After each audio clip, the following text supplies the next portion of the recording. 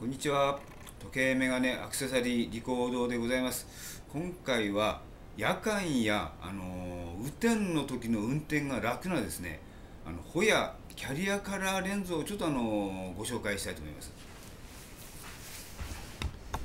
あの私も今かけてるメガネもそうですねホヤのキャリアカラーのあのちょっとイエロータイプですね。かけてるんですけどあの例えば夜間の運転ってねあの特に雨降りの夜これからまあそういう時期ですよね。秋になるとあの、まあ、日も短くなってあの夕方以降からもうもう暗くなりますんでね。こういうなんていうんですかねこういうギラギラ感とそのむわっとした感じがあのありましてですね。どうもそのき特にあの北海道の太平洋側っていうのは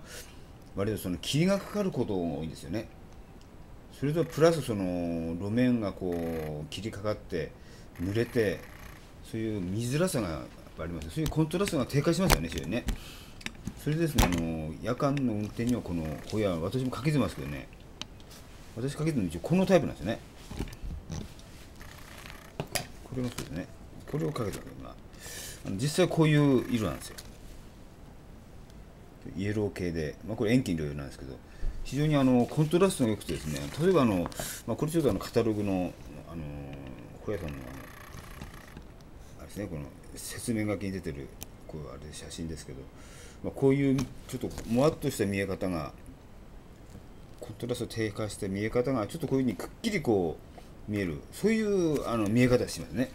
ですから特にあの私たち中高年になると特にあの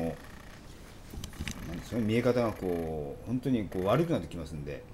まあ、視力まあ度数もありますけどこういうコントラストが良くなるとかなりこう違ってきますのでね。まあ、安全運転にもまたつながると思いますので、まあ、どうかですねよろしくお願い申し上げます。